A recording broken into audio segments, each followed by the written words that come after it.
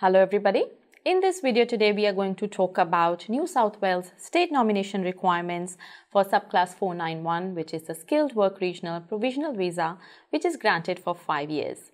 Now to meet the requirements that are set by New South Wales for subclass 491 First, you need to meet the requirements that are set by the Department of Home Affairs.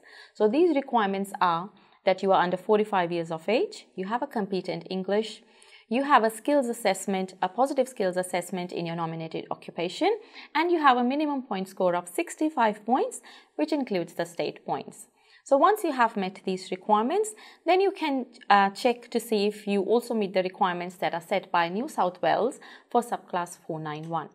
So what New South Wales has done is that recently they have updated their requirements and they have got three separate streams now depending on your situation and they have also got two separate occupation lists.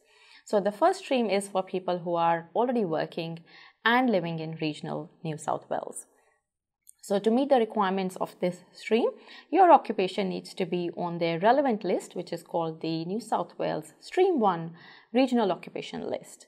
So if your occupation is on there, you have been living in New South Wales for 12 months in the regional um, designated area, and you have been working in your nominated occupation for the 12 months in regional uh, designated area, then you are eligible for this stream and you can apply for subclass 491.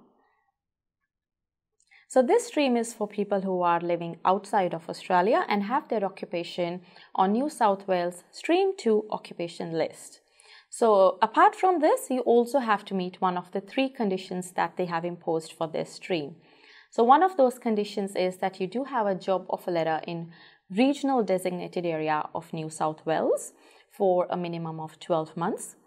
Or you have a 5 years work experience in your nominated occupation then also you can apply under this stream.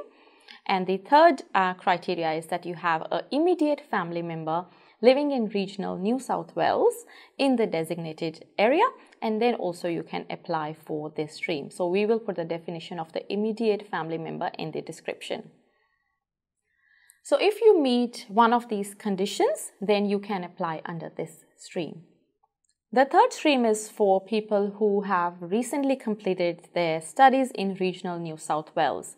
So you, you will need to check if your occupation is on the New South Wales Stream 2 occupation list and that you have completed your studies in the last one year and you have completed at least two years of studies in the New South Wales regional area and your occupation is relating to is relating to your uh, qualification then you meet the eligibility requirements for this stream.